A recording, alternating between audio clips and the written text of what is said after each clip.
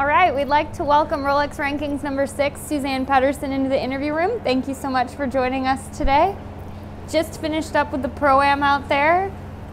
Give us some initial thoughts on this golf course and what are kind of the keys?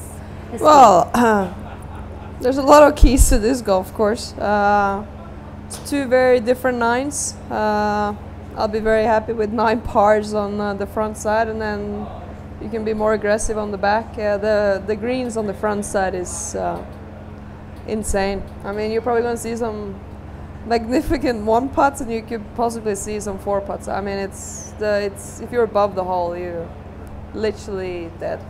So that's going to be very uh, tough transition from the front nine to the back nine. Uh, just play the front first today, get to the back nine, you get very tentative with the speed, even on a fairly flat putt. Uh, so the greens are firm as well. Um, uh, it's and you don't really have too many flat lies here either. So uh, it kind of you feel like we're sitting on the side of a hill, and definitely the greens are feeding to one one side of the course every year at this event you get a little different feel with changing golf courses. You've won this event before back in 2009. Yeah. What are kind of your favorite parts about coming to Canada? And every year, I guess, is this your first time to Vancouver? Have you been this here before? This is my first year to Vancouver. I feel like I've been all over during the um, life of CN on uh, the LPGA. Um, I, I, always forget where I won, but it was in Calgary, I was told, when I played the Pro-Am. Um, it's, uh, Canada feels very much like uh, Norway to me. Uh, it looks the same, uh, kind of same feel, great, uh, great people. We draw fantastic crowds in Canada. I mean, Canadians are fantastic sports uh, fans and they know golf, so it's, it's a good crowd. Um, CN puts on a great show. it's nice to rotate and play different courses every year. it takes a little bit more work for us to kind of prepare and kind of get to know the inside of the course, but um, the course is in good shape. It's uh, just very challenging with the greens and the speed of the greens. I mean, had they been slower, probably wouldn't have been that much of a deal, but they were rolling yesterday when I played at 12, so you're on the wrong side, you're dead. Take me through this season. No victories to date yet, but you've had some really been in contention a number of times, put together some solid performances. What's kind of the key for you to break through and, and get that first victory of the year? Well, I haven't had any victories, but I'm running around with a victory bracelet on to remind me that it's still possible. uh, no, I mean uh, it's been uh, it's been overall pretty good season. Uh, things has felt um, good all year. Uh, just can't play all five cylinders at the same time.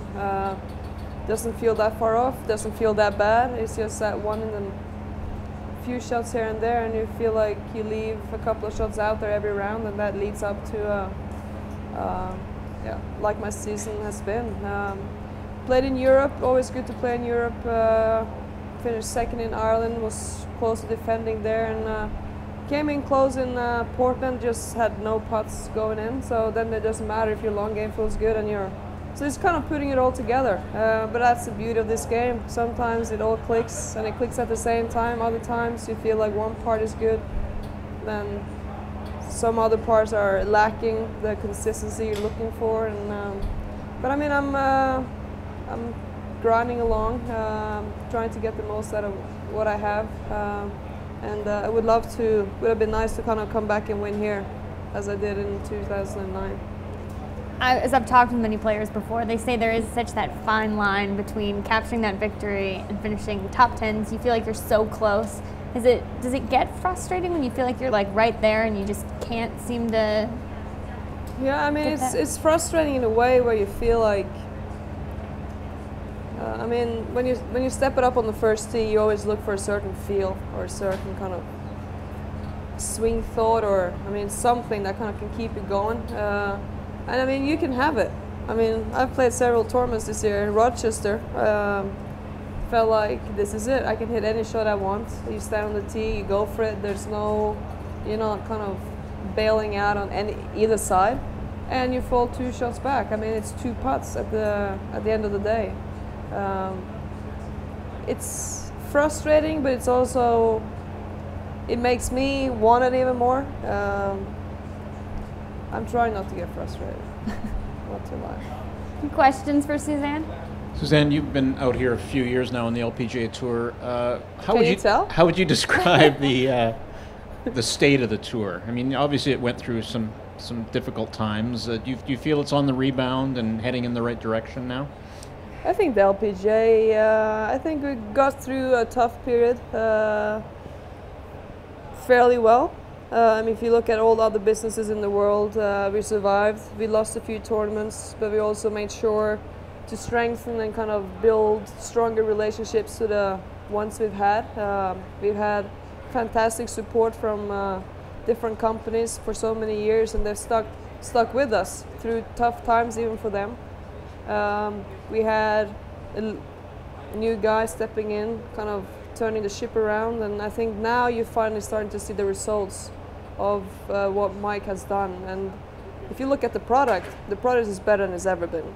Uh, I mean, you can say when Annika was at her peak, was the depth as good as it is now? Uh, I mean, not taking away what she did, Lorena did. Um I just think now it's the depth is better, the the quality of play is better. Um, I would say the conditions on the courses are better. So I mean, I think everything has improved, and I mean, uh, I'm very happy to be on this tour. Uh, I mean, this is my I don't know 12th season, I think, Yeah. 11th season. starting to get gray hairs. you too, eh? Yeah. Um, one, one more question. When you when you look at the top ten, the top twenty money on the monies, it's, it's like a veritable United Nations. I mean, just people. We from- are the United Nations Yeah, I in mean, the golf world. that wasn't always seen as a strength of this tour. I I mean, uh, under you know previous regime, there was some criticism and whatnot. But you, you see that as, a, as one of the real strengths of the tour, the, Oh, the for diversity. Sure. I mean, we represent pretty much then the world. Uh, obviously, we have a majority of uh, players coming from Asia. Um, we've had great players from Europe. We have great players from South America. Good Canadian players. I mean, now we have a lot of great young Americans coming up, which probably has been what's been lacking on this tour, especially for the interest in U.S. See our television numbers; they're out of the roof. So I mean, somehow we draw attention and it's an interest for the LPGA, which is, is good for us. And um, I think LPGA is fairly fan friendly. Um, you can get inside the ropes pretty easy with us compared to the PGA guys. Um, and then I think that's a lot of the experience people have when they come out watch us and they play with us. So it's um, it's a very positive theme right now. And um, next year we got five majors, um hopefully a few new additions to the schedule. Um, but when you look at it, if you look at all the top players, I don't think you see many of the top players playing much more than the 25 events a year, anyhow.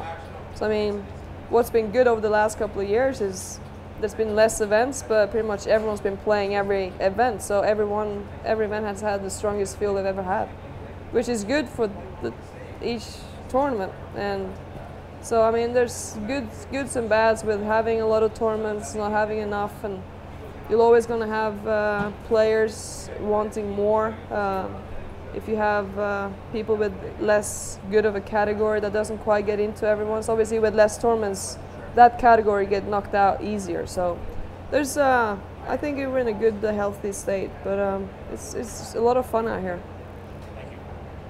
Uh, you, you talked a little bit about the course um, before. Do you can you pick somebody out there? Can you pick a set of players out there that, that might that the course might work well towards? Uh, it doesn't seem like it it fits any one category. No, uh, whoever can bump and run it to the front will do well this week. Uh, you know, it's. Um, I wouldn't say it kind of draws to the longer hitters either, because, I mean, obviously it's nice that you can kind of launch the ball, hit it with some spin, and kind of hold the greens at certain spots. But this is purely going to be a putting contest. Uh, believe me. Um, um, I mean, you might as well take short of the green than six feet past the flag on the green. So it's a certain. You just have to really play smart and accept a two putt, accept that you are going to three putt because I think whoever can least three putt this week is going to do really well. Well, I don't know. I mean, whatever you do on the putting, you just can't let it get to you. I mean, if it starts going, I mean, everyone's going to going to, going to go through the same highs and lows. Uh, hopefully, more highs, but uh, it's going to be a challenge. It's to be. It's fun to play courses like this because we don't play. Well, these are quite severe as well, but the speed of the greens when they're that undulated makes it more challenging. Suzann, now that the magazine's been out for a few months, can you tell us about any reactions you've had to your uh, now famous appearance? Yeah, I just had one uh, just a couple of minutes ago. Um, no, it's been the. I think the reception has been very, very nice. Um, I don't regret anything of what I've done. Uh, it was uh, out of the body experience. I probably felt the most awkward of the entire team on stage. Um, um, I thought it was a good opportunity, the right uh, time, the right magazine, um, and I thought I was honored to be in such good company that with other top athletes, other sports. So, I mean, I was honored to be asked, and uh, I thought about it twice before I uh, committed, and uh, haven't regret since. What, what kind of reactions do you get, like from the, when you said you just had one? Is it from Well, the gallery or? is it yeah, I mean now people start printing them and want me to sign them, and I still feel it's very awkward to sign those pictures. And so I actually rejected the guy who had two pictures printed out, and they were as big as the pin flags. And a couple of holes later, he comes back and he's uh, he's like, "Would you sign them now?" I draw I drew bottoms on, so he drew like a bikini on the picture. like, would you sign it now? Like, would it make a difference? I'm like, sorry, man. Good try. But that was actually quite funny. They keep trying though. This tournament used to be a major, and now you've got five majors. Do you see this becoming a major again? And does this have a major-like feel this week? You've talked about how tough the greens are. Oh, um, no, I don't see LPGA having six majors. Um, CN has always put on a fantastic event. It's um, want to call one of the major events we have on the schedule. Uh, venue-wise, uh, venue, crowd, uh, hospitality, courses, conditions, the reception we have in Canada. I mean, it's phenomenal. You can't ask for any more. But for us now to add a fifth major next year, I think that's more than enough for the players to deal with throughout the year. Uh, not saying CN doesn't has doesn't have like the quality to become a major, but that would most likely be down the road, and most likely we have to substitute for another one going out because I don't see us having six. That would be a lot to ask for the players during an entire season. Uh, so can you just comment on on the field uh, that's here uh, with 48 of the top uh, 50 women's golfers in the world and and what ultimately you think it will take to win the tournament? Uh, I mean, I'm not surprised that pretty much all the best players in the world are here. We all love coming to Canada. Like I said, it's CN always draws fantastic fields. Uh, the way they kind of um, treat us, uh, I think it's nice that we rotate around Canada, uh, that we don't always go back to the same spot. Um, what it takes to win this course, I mean, I, it's so hard to say. Um, it's hard to say if you need a lot of, I don't know, if it's going to take 12, 15. I mean, I have no feel. I guess if you get it going on the greens, there's opportunities out there, but at the same time, a lot of the holes par is a decent score. So it's kind of, it's always touch and go. Like, it could be like, where does the wind come from? It's, uh, it's tough. I don't know. Can you reach any of the par fives? Yeah, you can reach um, 10. Uh, there's two on the back, isn't it? So you can reach both. 10, you can definitely reach uh, 13 or 12 or whatever it is.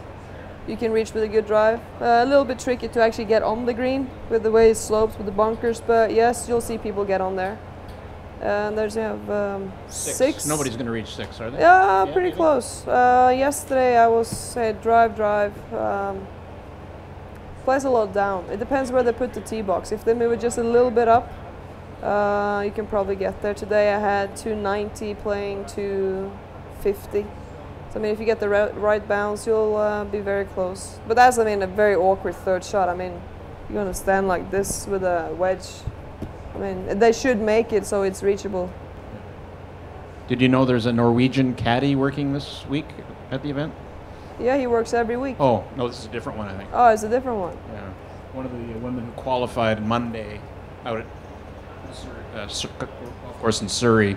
Her boyfriend is a Norwegian uh, cross country athlete, I guess. Uh, and he's he's caddying for her this week. Sounds like a Norwegian to me. we're, we're a lot of we're a lot of people in Norway. We kind of spread all over. the five million people we have. Any more questions for Suzann? Thank you very much. Good, for thanks. us.